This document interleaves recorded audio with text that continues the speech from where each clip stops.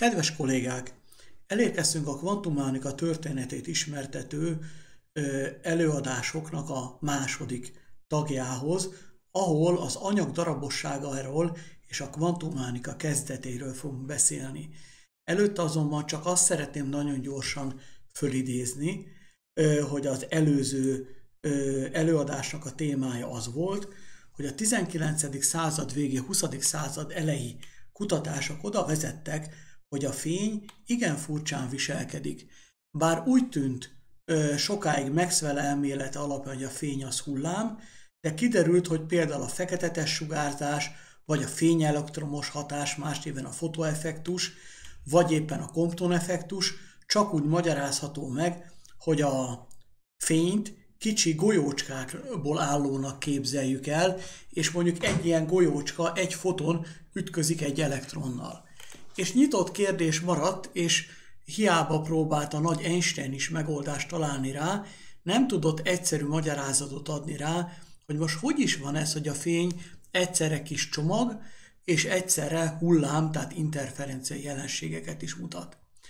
Nos, mm, ezt nézzük meg egy picit a túloldalról indulva az anyag darabosságának a, az ismertetésével. Említettük korábban, mert kapcsolódott egy-két korábbi részhez is, hogy a 18. század végén már sejtik a kutatók, hogy az anyagnak van legkisebb építőköve. Zárójes megjegyzés, ugye a görögök is fantáziáltak erről, de az ő fantáziálásuk a tetraéder meg a kocka alakú elemi építőkövekről messze csak hipotetikus dolog volt, nem méréseken alapult.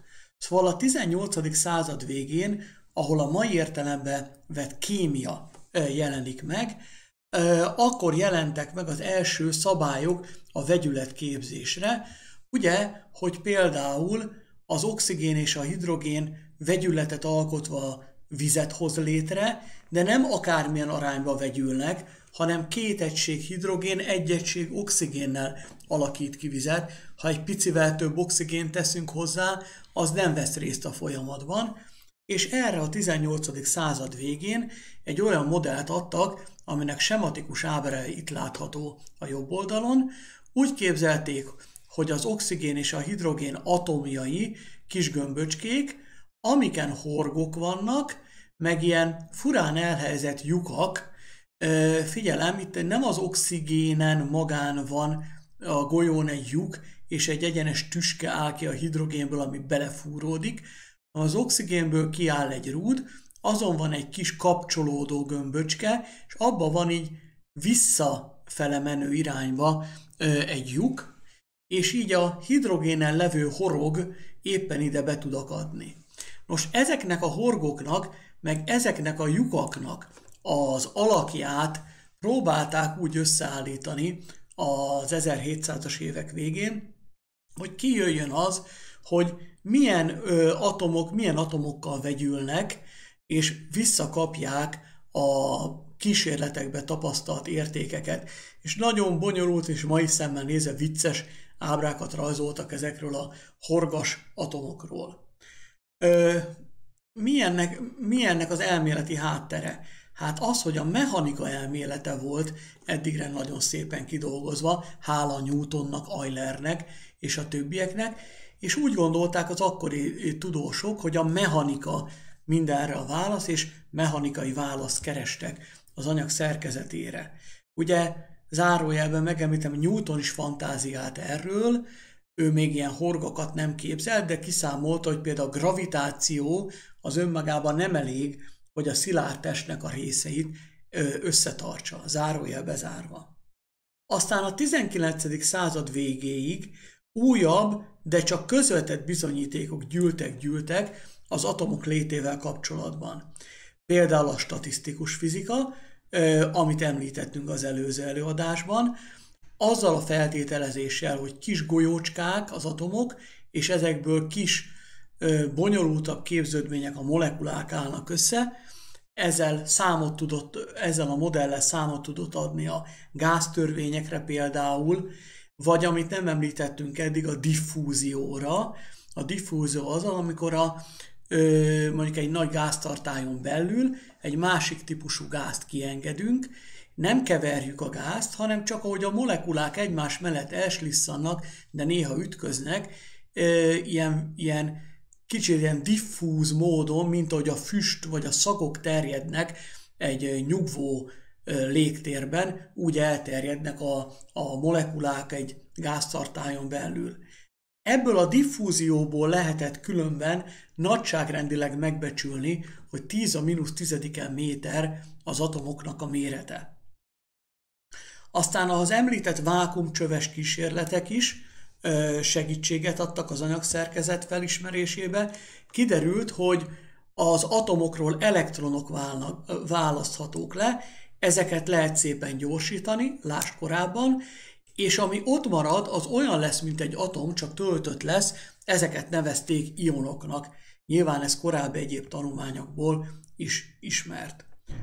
Az, hogy 10 a mínusz tizediken méter az atomok méretének a nagyságrendje, az azt is jelentette, hogy az addigra elég jó szintet elérő mikroszkópokkal sajnos nem tanulmányozhatók.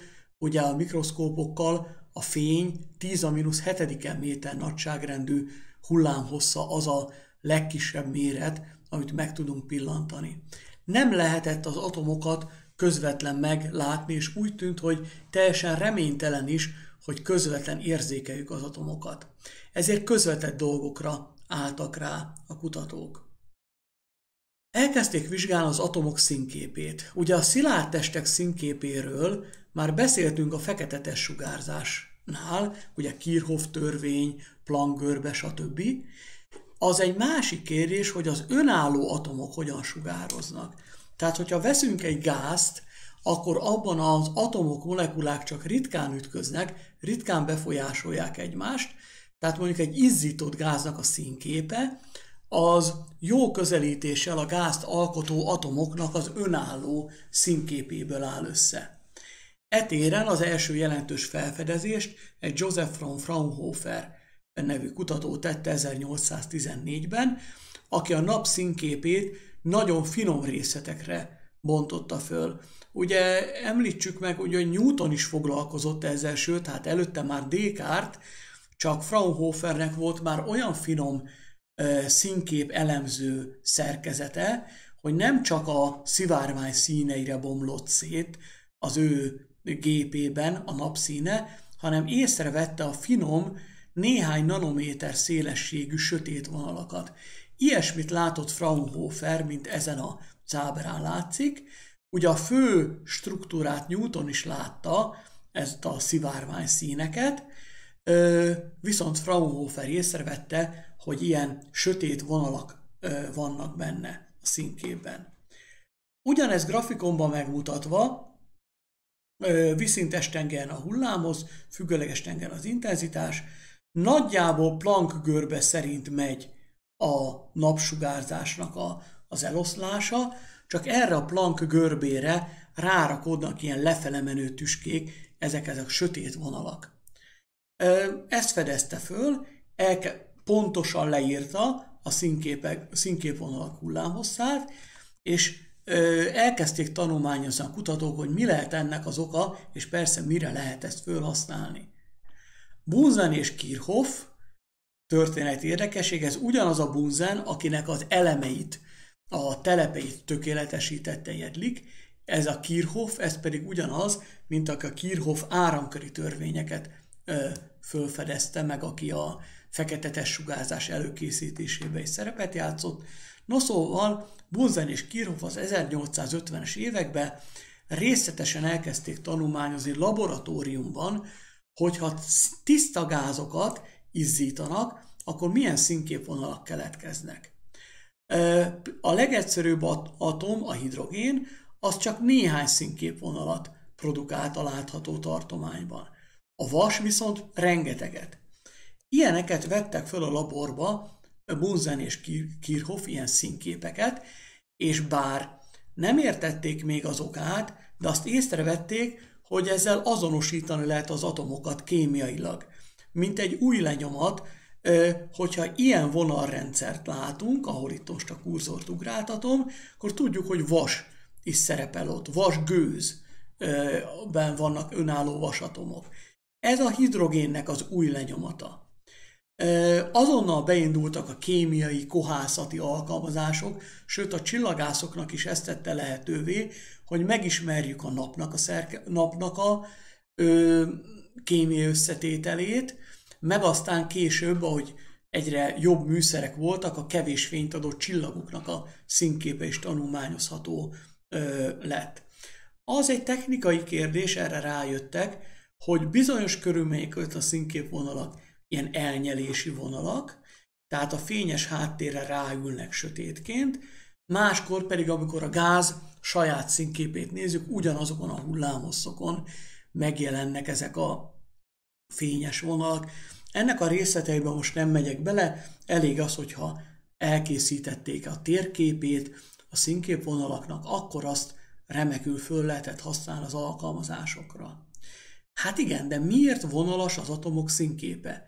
Miért csak bizonyos hullámhosszúságú, azaz bizonyos frekvenciájú sugárzás bocsátanak ki? Sejtették a kutatók, hogy ez fontos lesz ahhoz, hogy megismerjük az atomoknak a szerkezetét, és ez így is lett. Ráálltak a kutatók arra, mint minden esetben, és ez egy jó taktika, vegyük a legegyszerűbb esetet. Ez az atomok esetén a hidrogén. Hát honnan tudták, hogy a hidrogén a legegyszerűbb atom? Nem láttak a szerkezetébe? Hát igen, a szerkezetébe nem látták, viszont az egyértelmű volt a kémiai mérésekből, hogy ennek a leg, legkisebb a relatív atomtömege, és közelítőleg ennek az atomtömegnek az egész számú többszörösei a többi atomoknak a tömegei, fel is vetődött, hogy a hidrogénből állítható össze a többi atom. Tehát ez nem lesz egészen igaz, majd a magfizikában meglátjuk, hogy ebből mi igaz. Minden esetre a hidrogén a legkönnyebb, ezért feltehetően a legkevesebb darabból áll, és, a, és ezért a hidrogén atomnak a színképét a legegyszerűbb megfejteni. És nézzük csak, látjuk is, hogy a hidrogénnek a látható tartományban négy erős színképvonala van, amik balra sűrűsödően találhatók.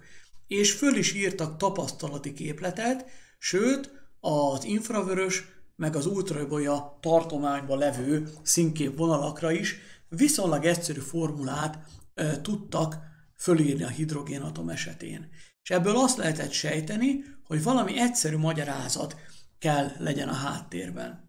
Meg is próbálkoztak többféle modellel, ezek közül a leghíresebb a Thomson-féle atommodell volt, amit szoktak mazsolás puding modellnek is hívni, ennek a lényege itt látható fölrajzolva jobb oldalt. Úgy képzeljük, hogy van egy nagy pozitív töltésű massza, ez tölti ki az atom térfogatát, 10 a mínusz tizediken méter nagyságrendű, és ebben, mint mazsolák a pudingban, úszkálnak a negatív töltésű elektronok. Ez az úszkálnak, ezt úgy kell elképzelni, hogy el tudnak mozdulni, kellően nagy energiával ki is tudjuk őket szakítani, lásd a katódsugárcsöves kísérletek, de azért nem teljesen szabadon mozognak, mert ha szabadon mozognának, akkor, akkor nem tudnánk, ö, ö, tehát biztos, hogy valahogyan kötve vannak ebben az anyagban. Na most úgy gondolták, hogy ha békén hagyunk egy atomot, akkor az leül az alapállapotba, az elektronok a legkisebb energiája állapotba helyezkednek, mivel taszítják egymást az elektronok, ezért nem ül be mindenki középre, megkeresik a legkisebb energiájú állapotot, és a fény kibocsátás és elnyelés az úgy történik, mint egy elektromos oszcillátorban, ugye ezt a Planck ö, esetében már tárgyaltuk az elektromos oszcillátort, hogyha rezeg ez az elektron ebben a pozitív töltésű masszában, akkor képes elektromágneses sugárzást kibocsátani vagy elnyelni. Az volt a baj ezzel a modellel, bármilyen hangzatos is, és mondjuk a katódsugárcsöves kísérletek magyarázatához megfelelő, hogy nem sikerült a hidrogénatom színképét se számszerűen lemodellezni ebből. És tanácsalnak voltak a kutatók, hogy mi a csoda lehet az anyagban.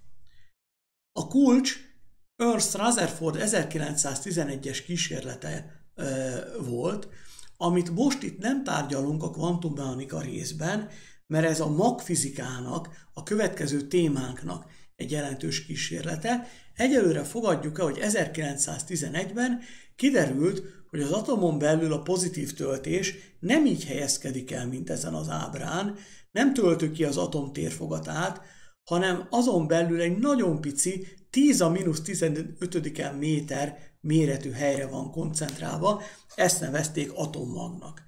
Most egy álljunk meg egy pillanatra a nagyságrendeket említve. Ez itt 10 a mínusz tizediken méter. Ezen belül a 10 a mínusz 15 méter az olyan pici, százezred része, hogy ezen a, az ábrán le se tudnék olyan pici pöttyöt rajzolni. Mondjuk, ha ez Full HD-ben van megjelenítve, akkor mondjuk durván 500 pixel az átmérője ennek, az 500 pixelnek a 10 a mínusz 5 ened része, az messze-messze egy század pixelnél ö, kisebb ö, méretet jelent, tehát itt középre az atommagot egy pixel pöttyel oda se tudom rá, túl nagyot rajzolnék. Szóval Rutherford kísérletéből kiderült, hogy az atom az egy ö, picit a naprendszerre hasonlít, inkább nem mazsolás pudingra, ezt nevezték planetáris vagy bolygószerű atommodellre. Az elektronok negatív töltésű golyócskaként úgy keringenek a pozitív töltésű mag körül, ahogy a bolygók a nap körül. Ugye a pozitív-negatív töltések vonzák egymást, első pillanatban ez vonzó elmélet, tehát az elektromos vonzás tartja össze az atomot, megvan az elektronoknak a helye, azt is meg lehet magyarázni, hogy miért, miért kell az elektronok kiszakításához energia, le kell győzni az elektromos vonzását a magnak, és még odáig is timmel a dolog, hogy a keringő elektron a sugároz, hiszen gyorsuló töltés, azaz váltó áramnak felel meg, de a Maxwell féle elektrodinamika alapján kiderült, hogy ennek a sugárzásnak folytonos lenne a színképe, nem vonalas. Olyasmi lenne, mint a feketetes sugárzásé, hogy van valamilyen tendenciája, de kisebb, tehát egyik hullámoszon kicsit kisebb, másikon nagyobb, de nem tüskékből áll a színképe. Még nagyobb gond volt, hogy az derült ki, hogy ha newtoni mechanika alapján keringtetjük az elektronokat, és a Maxwelli elektrodinamika alapján számoljuk a sugárzást, akkor olyan intenzív lenne az elektronok sugárzása, hogy az azzal járó energiaveszteség 10 a mínusz 8 másodperc alatt, azaz 100 milliómod másodperc alatt az elektron elveszteni az energiát és belezuhanna a magba. Hát szerencsére a világ nem ilyen, mert ugye a mi testünk is atomokból áll, e, úgyhogy maga Rutherford, aki a magot, atommagot fölfedezi, látja, hogy ez így nem jó, ki kell egészíteni. Egy történeti érdekesség, ez a planetáris atommodell annyira megfogta az emberek fantáziát, olyan esztétikusan lehet lerajzolni, hogy azóta is ez az atomoknak az elterjedt szimbóluma. Középen egy golyócska, körülötte kör ellipszis pályákon kisebb golyócskák keringenek, pedig hát az első pillanatban lehetett tudni, hogy ez nem így van. Nézzük csak ezt például az Amerikai Egyesült Államok atomenergia hivatalának a, a logója, de hát máshol is láthatjuk, és így szokták az atomot lerajzolni. Vicces dolog, hogy az első pillanatban lehetett tudni, hogy nem ilyen az atom, de mégis ez megmaradt az emberek fejében. Hát majd erre visszatérünk egy később, hogyha lesz egy kis idő. És itt jött az a dolog, amit írtam, hogy ki kell egészíteni az elméletet. Az első kiegészítést egy Niels Bohr nevű, nagyon akkoriban nagyon fiatal fizikus tette meg, és óriási sikert hozott az elmélete, és talán a Bohr modellt, Niels Bohrnak az atommodellje tekinthetjük a kvantummechanika első lépcsőjének. Még nem az igazi, de azért már a kvantummechanika kezdeteihez számolhatjuk. Niels Bohr 1913-ban állította föl ezt a modelljét, következő volt a gondolat, 1913-ra már világos volt például Planck és Einstein munkáiból, lásd az előző előadásokat, hogy a klasszikus fizikához valami kvantumosságot, darabosságot hozzáadunk, akkor a fény természetét meg tudjuk magyarázni. Lásd Einstein fotoelektromos hatás elmélete, vagy Plancknak a feketetes sugárzást leíró elmélete. Ezért Niels Bohr azt a célt tűzte ki, hogy találjunk olyan plusz feltételeket, amiket a planetáris modellhez hozzáadva mégiscsak visszakapjuk a megfigyelési tényeket. És ezeket ötlötte ki. Azt mondta Bohr, úgy néz ki, hogy a mikrovilág nem enged meg mindent, minden darabos a mikrovilágban, és ez úgy nyilvánul meg Bohr szerint az atomok esetén, hogy az elektronok bizonyos stabil pályákon keringenek, a planetáris modell szerint, tehát klasszikus fizikai leírás alapján, és ha ilyen stabil pályán kering, akkor nem sugároz. A stabil pályákat az jelöli ki Bohr szerint, hogy a perdülete, a pálya perdülete, lendület szorozva a sugár, egész számú többszöröse a H per 2 pinek, H ugye a Planck állandó, amit már akkoriban mindenki elfogadott, hogy ez valahogy az anyag szerkezettel összefüggő dolog. És csak akkor sugároz vagy nyelel az atom energiát, ha két stabil pálya közt ö, megy át, ha magasról alacsony energiára megy át, akkor kisugároz, ha alacsonyról magasra, akkor pedig elnyeli a környezetből érkező energiát ez az atom. Hát rajzoljuk ezt le, meg írjuk fel a képleteket, de előre mondom, hogy nem fogom kérni, hogy számoljuk ki a Fisztöri órán vagy vizsgán ezeket. Ugye az volt Bornak a modell, hogy itt van középen az atommag, ez a pici piros pötty, körülötte kering egy elektron, mondjuk ellipszis pályán, van néhány pálya, beszámoztam őket első, második, harmadik pálya, persze több is lehet. Ezek a megengedett pályák, de közte, így félúton valahol, itt nincsen pálya. Valamiért ilyen a természet, mondta Bor. A megengedett pályákat az jelöli ki, hogy a pálya perdület, M szervé a lendület, R a pályasugár. Ugye beindexeltem őket ennel, hogy az ennedik pályán, ennedik megengedett pályán, ami pozitív egész kell legyen, szóval a Bohr szerint ilyenkor a pálya perdület n-szer h per 2pi. Ez az n, ez az 1, 2, 3, stb. érték, tehát ahányadik pályáról beszélünk, annyadik, ö, annyiszor H per 2 pi a pálya perdület.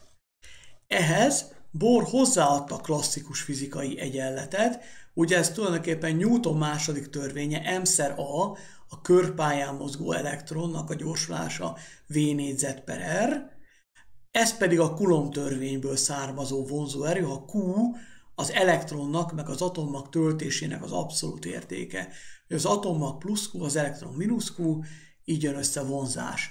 Ebből per Rn négyzet, tehát a pályasugárral négyzeten, mert Coulomb törvényben itt R négyzet van. Ugye itt most összejön az egész fizika történet ebben az egyenletben.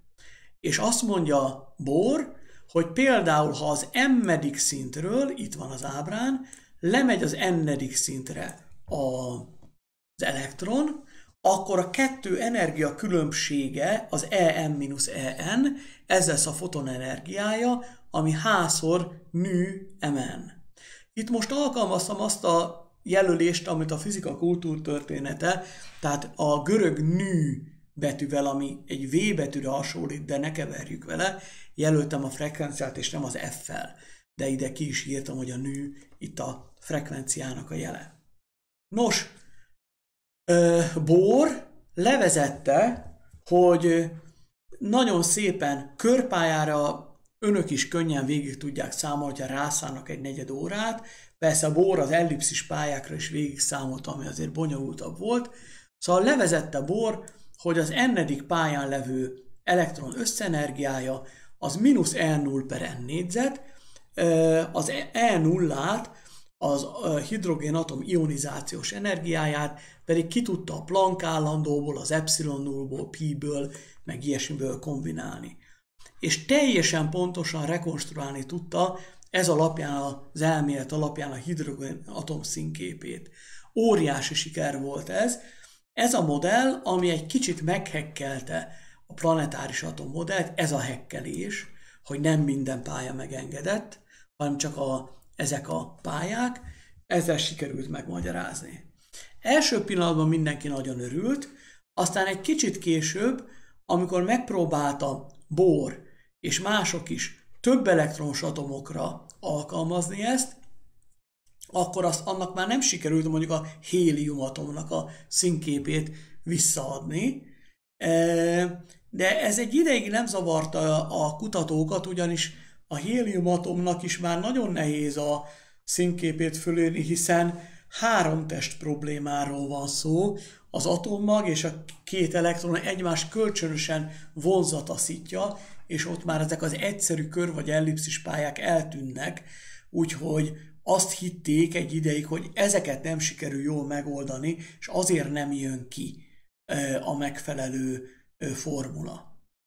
De elméletileg nagyon nagy nyitott kérdés volt, hogy oké, okay, de mi is az eredete ennek a feltételnek, a borféle kvantumfelt. Miért csak bizonyos pályák megengedettek? Ugye ugyanezt Plancknak is föltették, hogy miért csak bizonyos energiákat nyel el vagy sugároz az üreg falába odaképzelt ö, oszcillátor. Ezt még nem tudják ekkor megmondani, ezért beszélünk arról, hogy ezek a kvantummechanika kezdetei. A kvantummechanika kezdetei között mindenképp meg kell említenünk a Heisenberg féle mátrix mechanikát 1925-ből. Heisenberg, nézzük csak, 1901-ben született, tehát egy nagyon fiatal, tejfölösszájú fizikus volt 1925-ben, akkor publikálta az eredményeit, de már pár éve járt ezekhez a nagyokhoz, konferenciákra, és rendszeresen kiakasztotta őket a nagyon újszerű hozzáállásával. Szóval ez a szemtelen fizikus, Werner Heisenberg, a következőt mondta. Hülyeség ez az egész, amit a bor állít, nem lehet ilyenről beszélni, nem látjuk az elektronokat, meg az atommagokat, nincs is értelme szemléletes képet próbálni a a, az atomok elmélete mögé tenni, hanem csak arról beszélünk, amit mérni tudunk. És amit mérni tudunk az atomok esetén, azok a frekvenciák, a kisugárzott és elnyelt frekvenciák. Márpedig ezeket a frekvenciákat kétdimenziós táblázatba tudjuk rendezni. Például a hidrogénatom esetén ugye egy egyszerű formula meg, meg is adja az NM indexű frekvenciát, szépen föl lehet írni, lásd az előző oldalon, ami ott van, és ezt kísérleti tapasztalatból is tudjuk, hogy ilyen egyszerű szabálynak tesznek eleget a frekvenciák.